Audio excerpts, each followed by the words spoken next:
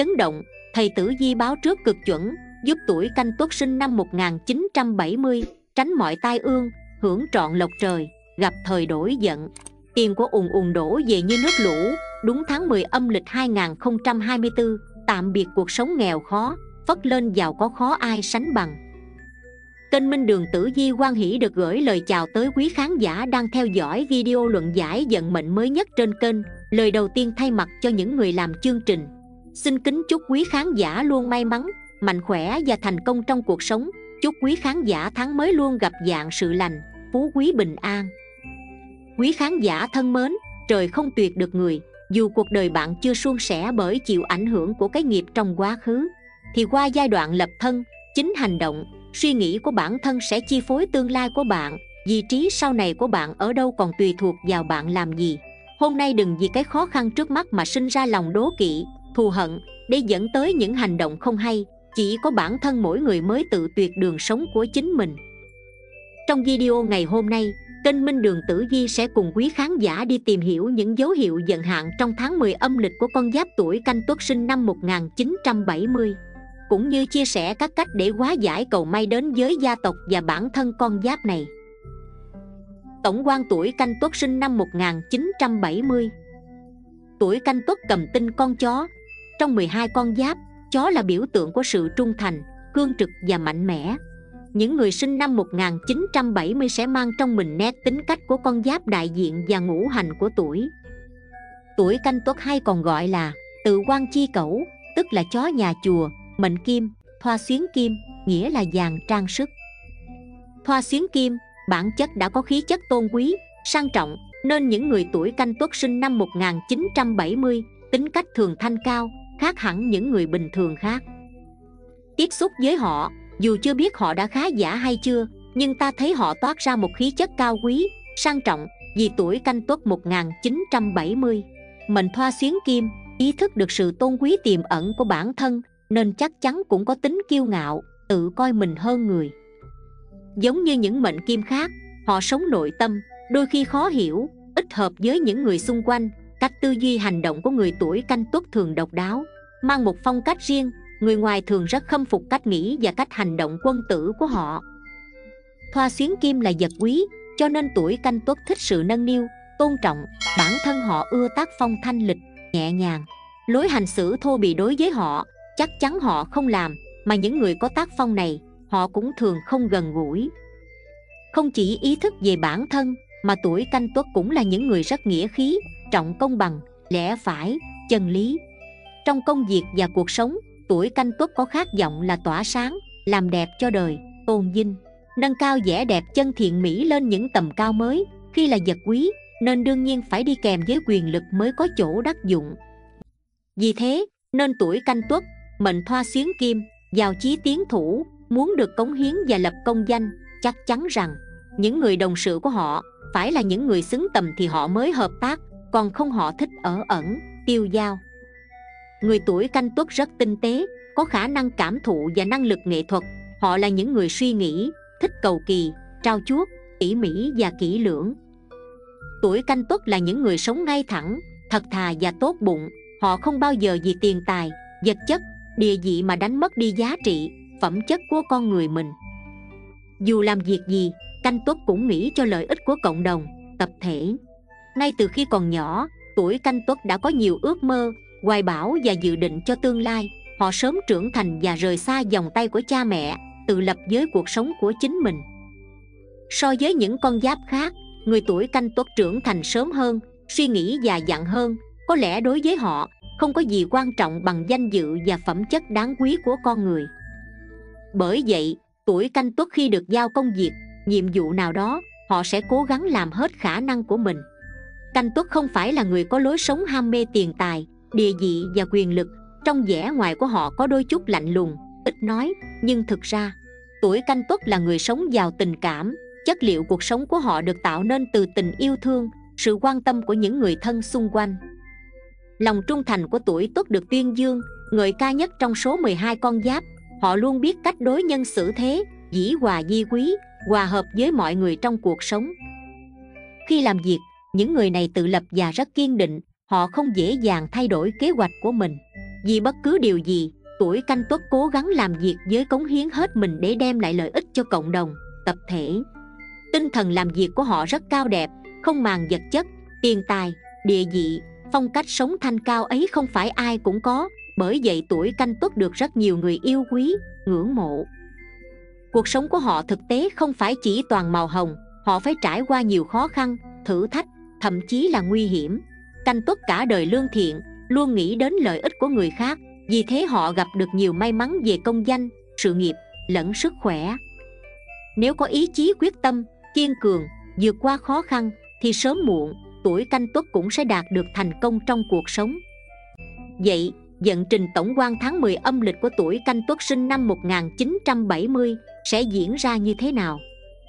Trong tháng 10 âm lịch, người tuổi canh tuất đón nhiều tin tức tích cực, khi vận trình bừng sáng, may mắn theo sát bước chân con giáp này. Tháng này dù làm việc lớn hay nhỏ, đều có được thành công bước đầu, mọi nỗ lực cố gắng đều được đền đáp xứng đáng.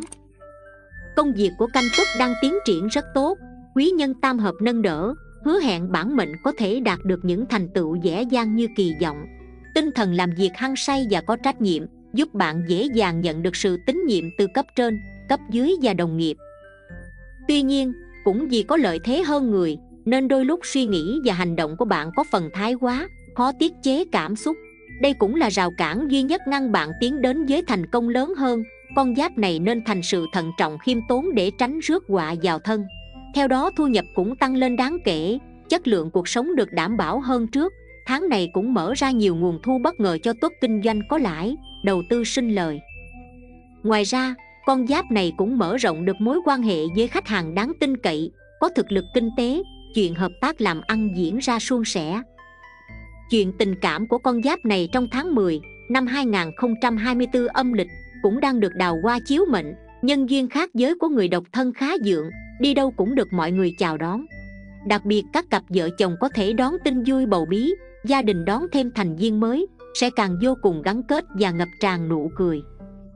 Phương diện sức khỏe của canh tuất nhìn trung bình ổn, ít ốm đau bệnh tật, dù vậy tháng này có hung tinh bạch hổ xuất hiện, mang theo điềm báo xui xẻo, sự cố bất ngờ, bản mệnh vẫn nên chú ý khi di chuyển, hay khi làm việc nặng, để tránh những rủi ro không đáng có. Dựa trên mối tương quan giữa đơn số và lưu niên tháng, đồng thời xét tác động mạnh yếu của hệ thống sao chiếu mệnh, mà đoán định hung cắt của tuổi canh tuất thông qua bốn phương diện chính là sự nghiệp, tài vận tình cảm, gia đạo và sức khỏe, cụ thể như sau. Về phương diện sự nghiệp, xem tử vi tháng 10 âm lịch năm 2024 của 12 con giáp thấy rằng phương diện công danh sự nghiệp của người tuổi canh tuất được dự báo là có nhiều điều hanh thông và thuận lợi hơn hẳn, tất cả đều nhờ thiên đức các tinh mang tới thiên tài xuất hiện trong tử di tháng mới của canh tuất, mang tới sự hậu thuẫn vô cùng lớn, con giáp này có nhiều sự tiến triển vượt bậc, gặt hái nhiều thành tựu dễ dàng, tư duy logic của bản mệnh ngày càng nhẹ bén, làm việc có kế hoạch cụ thể, không còn tình trạng công việc dồn đống trái lại xử lý việc nào ra việc ấy, con giáp này thể hiện được khả năng sắp xếp và quản lý công việc tài tình của mình. Cũng nhờ có tính tình lạc quan, vui vẻ mà bạn dễ dàng tìm được cảm hứng trong công việc và sẵn sàng đối diện với mọi thử thách đặt ra ở thời điểm này. Tinh thần làm việc hăng say và có trách nhiệm giúp bạn dễ dàng giành được sự tín nhiệm từ cấp trên, cấp dưới và đồng nghiệp. Nhờ vậy bạn có thể được cân nhắc lên một vị trí xứng đáng hơn với năng lực của mình. Không chỉ vậy, tam hợp còn giúp con giáp này xây dựng được các mối quan hệ xã giao tốt đẹp. Bạn sẵn sàng giúp đỡ người khác nên cũng được người khác giúp đỡ nếu gặp phải khó khăn. Thêm vào đó, bạn còn có cơ hội gặp gỡ được quý nhân, có được những hướng phát triển mới trong sự nghiệp.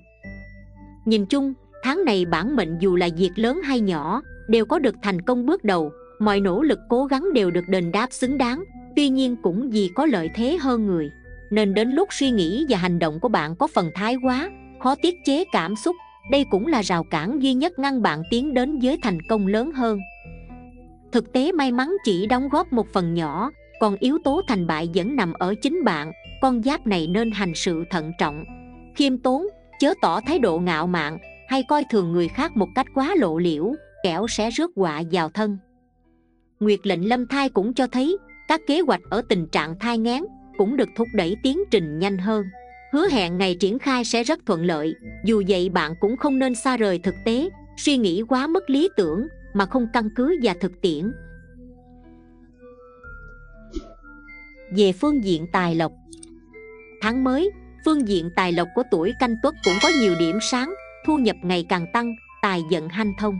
Cơ hội làm ăn, hợp tác, đầu tư lớn càng nhiều, cũng nhờ vậy cuộc sống của bạn được đảm bảo hơn trước.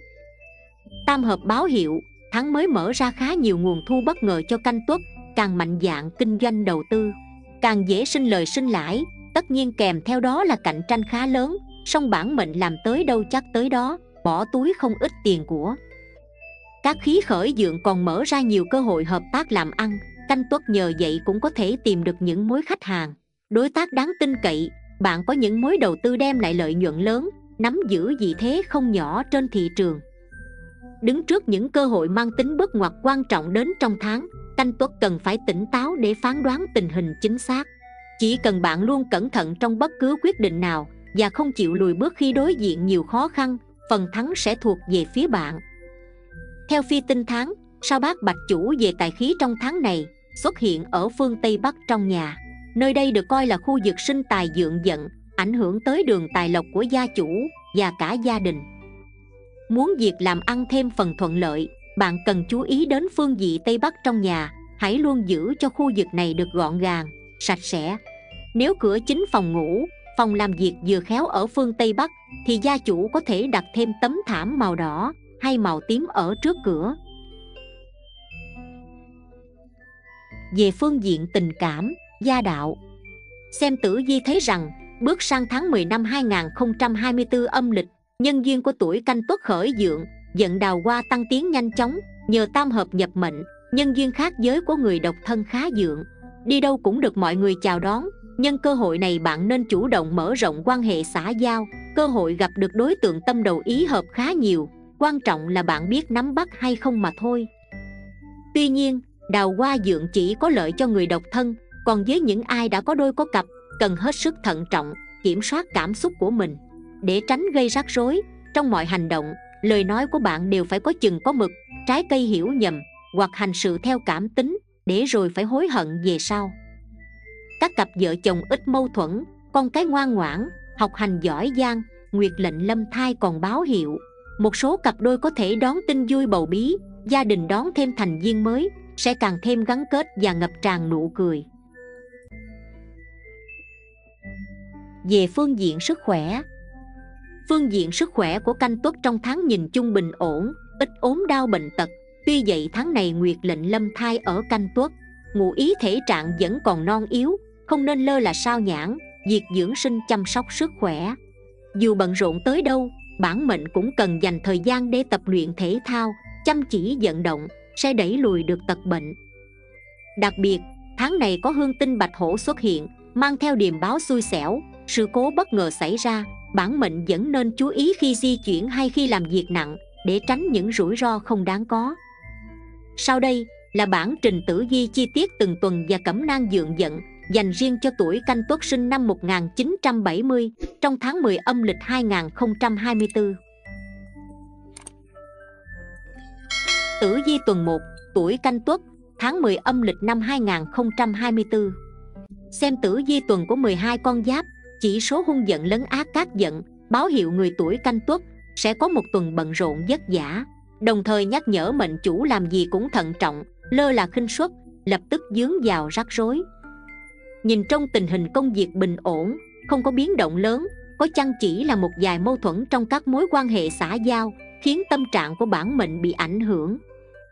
Tuổi canh tuất vốn suy nghĩ lạc quan lại tích cực hành động không cho phép mình rảnh rỗi quá lâu lúc nào cũng luôn chân luôn tay nên mọi sự phiền muộn sẽ qua đi rất nhanh. Hơn thế trong tháng tuổi canh tuất được giải thần các tinh nâng đỡ, sức mạnh của giải thần rất lớn, giúp mệnh chủ hóa giải những điều hung hiểm, quá hung thành cát nên nhớ những khó khăn trước mắt chỉ mang tính tạm thời, ai kiên trì theo đuổi mục tiêu ắt sẽ gặt hái được thành quả tốt đẹp. Tình hình tài chính trong tuần của tuổi này cũng không có nhiều biến động, sẽ xuất hiện nhiều việc bất ngờ phải dùng đến tiền. Tuy nhiên bản mệnh đã có sự chuẩn bị từ trước đó, nên mọi thứ diễn ra trong tầm kiểm soát lưu ý, dưới xuất hiện của đại hao hung tinh, có thể gây một số ảnh hưởng bất lợi về vấn đề tiền bạc. Có tiền nên giữ cẩn thận, đừng hứa hên, lộ liễu, kẻo tên mất tật mang, chi tiêu cũng cần có kế hoạch. Đừng mua sắm quá đà theo hướng, mà tiền một đi không trở lại. Chuyện tình cảm của người tuổi canh tuất bình ổn, gia đạo an yên, mâu thuẫn giữa các cặp đôi cũng giảm đi trông thấy. Tuy nhiên cần đề phòng người thứ ba xuất hiện gây sóng gió thị phi người độc thân giận đào hoa dần khởi sắc vào cuối tuần tranh thủ ra ngoài mở rộng các mối quan hệ đừng ru rú trong nhà mà lỡ mất cơ hội tốt. Cẩm nang dượng giận quý nhân ngọ mão tiểu nhân tỵ dậu. Màu sắc may mắn hồng vàng. Con số phát tài 12, 69, 34 Tử Vi tuần 2, tuổi canh tuất, tháng 10 âm lịch năm 2024 Tình hình công việc tiến triển khá thuận lợi. Tuy nhiên có điểm về sự thay đổi, dịch chuyển trong công việc Có thể là lúc thay đổi chức vụ, vị trí hay đi công tác xa. Dù thế nào đi nữa, với những ai lạc quan, chủ động nắm bắt tình hình Mọi thứ đều nằm trong tầm kiểm soát. Ngược lại nếu nghĩ tiêu cực, lười nhác, thành công sẽ không tới. Tài lộc trong tuần khá dượng, kinh doanh buôn bán cũng thuận lợi Đơn hàng đến tấp nập, tất nhiên cấm được lợi nhuận càng cao. Bản mệnh phải đổ càng nhiều mồ hôi, công sức Làm ăn chân chính luôn vất vả như vậy đó Nhưng thường rất bền vững. Lưu ý, tiểu hao hung tinh ảnh hưởng xuyên suốt tuần Gây ra không ít rắc rối về tài chính. Nếu ai đó hỏi dây mượn tiền bạc Cần cân nhắc kỹ trước khi cho dây tránh tình trạng tiền một đi không trở lại. Chuyện tình cảm của người tuổi canh tuất luôn bình ổn không có biến động lớn đôi lứa cũng khó tránh khỏi những lúc mâu thuẫn cãi giả nhưng mọi chuyện đâu rồi trở lại vào đó. Người độc thân vẫn phải mãi mê phấn đấu cho công việc, sự nghiệp, tạm thời chuyện yêu đương không quá sốt sắng. Trong tuần sức ảnh hưởng của thiên hình hung tinh, lên phương diện sức khỏe là rất lớn. Tuổi canh tuất cần phải đặc biệt chú ý giữ gìn sức khỏe, đừng lơ là sao nhãn kẻo ngã quỵ lúc nào không hay, ra ngoài chú ý trước sau. Tham gia giao không cần chấp hành nghiêm chỉnh các quy định, sẽ hạn chế điều xui xẻo xảy ra.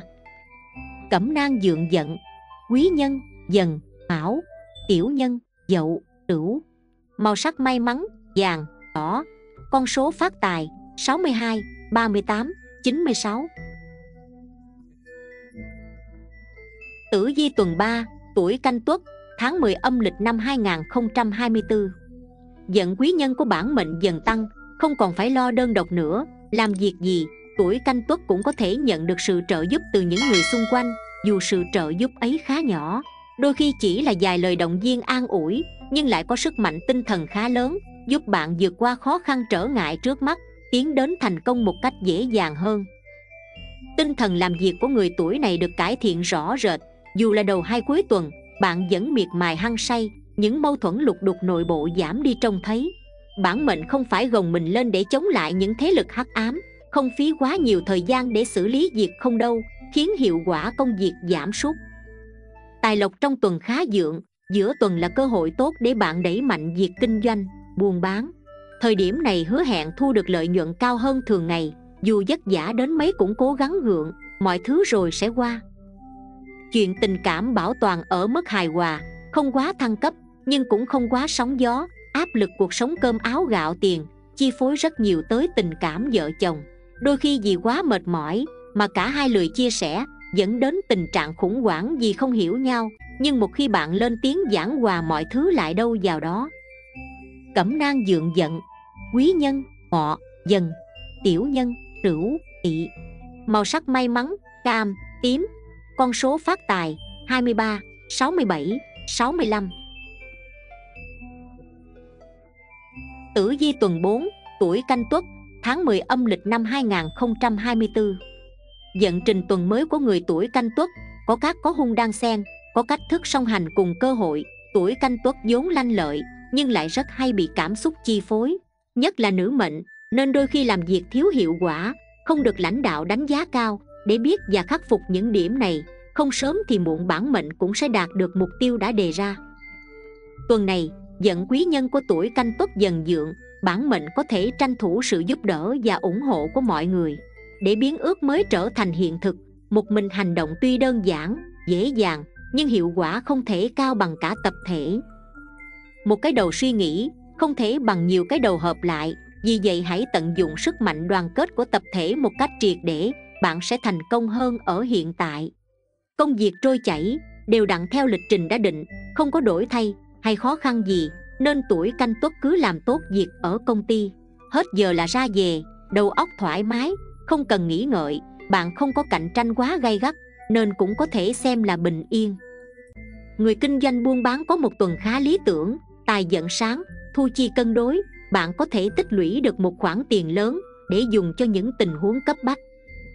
Có thái âm trợ lực, nữ mệnh tuổi canh tuất mua may bán đắt, đầu tuần cũng như cuối tuần, bán hàng rất chạy, đơn hàng đều đều, tiền thu đầy túi. Sức khỏe của bản mệnh tương đối ổn định thể trạng thích hợp để đảm đương nhiều việc quan trọng, nhưng những ngày này thời tiết có nhiều thay đổi, cần đề phòng bệnh đường hô hấp, nhất là người có tiền sử bệnh suyễn. Cẩm nang dượng giận, quý nhân, tuất, hợi, tiểu nhân, dậu, thìn. Màu sắc may mắn, trắng, đỏ. Con số phát tài 25 68 06 nhân sinh cảm ngộ tu tâm dưỡng tính, và hãy biết rằng, nghịch cảnh cũng là một cơ hội mà vận mệnh mang đến.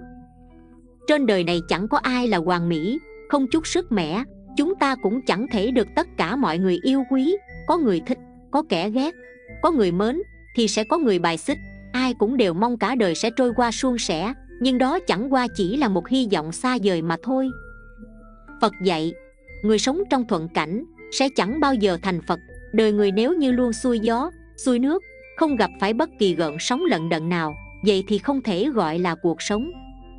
Nhưng đối với những người bậc quân tử, người có trí tuệ cao thượng, thì hết thảy những tổn thương đó, không phải là trở ngại, mà là vận mệnh gây ra, mà đó chính là món quà bồ tát mang lại để thử thách cho chúng ta. Dù không phải khổ đau, nhưng nếu có thể trải qua khổ nạn, thì tôi luyện được ý chí bền bỉ, đó mới chính là món quà quý báu mà cuộc sống ban tặng những kẻ tiểu nhân, kẻ ác tạo ra muôn trùng khó khăn, nhưng thực chất là giúp chúng ta tu hành, cho nên chúng ta cần phải mang lòng cảm kích nghịch cảnh. Không phải là bất hạnh, nên hãy bình thản đón nhận, mọi việc ta làm đều có trời cao chứng giám, bạn chỉ cần sống tốt, trời xanh tự có an bài. Đặc biệt, nếu ta có một tâm lý vui vẻ và lành mạnh, cũng là yếu tố then chốt để thay đổi giận đen và cũng là cách vượt qua nghịch cảnh. Khi giận số không suôn sẻ thì giận càng đen, sẽ dẫn đến một dòng luẩn quẩn, vì vậy bạn phải kiểm soát và điều chỉnh cảm xúc của mình. Thay đổi thành tâm thành tâm trạng tốt, thì niềm vui, bạn không vui, nhìn mọi chuyện theo hướng tích cực, chỉ cần bạn kiên trì, tôi tin rằng bạn sẽ sớm thay đổi vận mệnh. Hãy tin vào chính nghĩa và có chánh niệm, chính nghĩa và lẽ phải được nói đến ở đây là trong khi bạn đang tìm kiếm niềm tin của chính mình. Bạn không được có những lệch lạc về niềm tin dẫn đến những tình trạng bất lợi như mê tín, tà giáo. Ví dụ, nếu bạn tin vào đạo phật, bạn nên đến một ngôi chùa gần đó để thắp hương. Ngôi chùa là một thánh địa yên tĩnh, linh khí rất tốt, để gột rửa tâm ô uế, mê muội. Loại bỏ thông tin xấu, trở về với bản ngã, để tìm được tâm thanh tịnh. Chỉ cần bạn vững tin vào thánh ý của đức phật, tin vào quả báo, nghiệp báo và buông xả tâm mình là sẽ bình yên. Đừng lo lắng và phàn nàn bạn cần vững vàng trên con đường thay đổi chánh niệm. Một khi bạn làm được rồi, tôi tin rằng trong thời gian sớm nhất, bạn nhất định sẽ gặp nhiều may mắn và mọi việc suôn sẻ. Chọn bạn tốt, ít bạn nhưng phải chất lượng. Nếu bạn có những người bạn tốt chính là đang tiếp xúc với những người may mắn và tràn đầy năng lượng tích cực, khiêm tốn và chăm chỉ, bạn không cần phải có quá nhiều mối quan hệ. Hãy kết thân với những người khiến mình cảm thấy vui vẻ, tích cực phát triển và sử dụng năng lượng tốt của họ. Năng lượng tốt rất dễ lan tỏa và thay đổi hào quang của bạn. Nếu có được sự hợp nhất của từ trường may mắn, sau một thời gian dài, bạn cũng sẽ gặp được may mắn và thoát khỏi nghịch cảnh sớm. Con người khi gặp nghịch cảnh, thường là khi giận khí không suôn sẻ hoặc kém may mắn, là do nhân tố nào đó của bản thân và áp lực từ bên ngoài gây ra. Một khi những năng lượng tiêu cực này vượt quá năng lượng tích cực mà bạn có chẳng mấy chốc bạn sẽ trở nên mệt mỏi và bị cản trở và rơi vào nghịch cảnh. Đừng vì cá tính của mình mà từ bỏ bản thân và đổ lỗi cho người khác. Hãy nhớ rằng, khi bạn không may mắn, rất nhiều ý tưởng và phán đoán của bạn có thể sai. Lời phật dạy về cách đối mặt với cuộc sống và nghịch cảnh chỉ ra rằng, chúng ta phải chủ động có biện pháp phát huy năng lượng tích cực của bản thân, sử dụng năng lượng tích cực của môi trường cộng hưởng năng lượng tích cực của người khác để cùng nhau vượt qua những năng lượng tiêu cực này. Chỉ cần bạn dám đương đầu với nghịch cảnh và vượt qua thất bại, tôi tin rằng bạn sẽ gặp may mắn. Những người đang gặp nghịch cảnh ơi, hy vọng bạn sẽ thoát ra khỏi bầu trời u ám của chính mình, càng sớm càng tốt nhé. Dân, quý vị thân mến, trên đây là những chia sẻ rất tâm huyết đến từ ban biên tập chương trình về tử vi tháng 10 âm lịch năm Giáp Thìn 2024 của tuổi Canh Tuất sinh năm 1970. Minh Đường Tử Di rất mong rằng quý vị sẽ có một tháng nhiều may mắn, gặt hái nhiều thành công và làm giàu cho bản thân mình, cho xã hội. Minh Đường Tử Di vô cùng cảm ơn quý vị đã quan tâm và theo dõi chi tiết hết video. Mọi ý kiến đóng góp và thông tin cần được tư vấn hỗ trợ, vui lòng comment ở bên dưới và bình luận. Ban biên tập chương trình sẽ tư vấn và giải đáp miễn phí trong thời gian sớm nhất. Mến chúc quý vị luôn mạnh khỏe, hạnh phúc, giàu có và thành công hơn nữa trong cuộc sống của mình. Chương trình đến đây là hết. Xin chào và hẹn gặp lại trong những chương trình lần sau.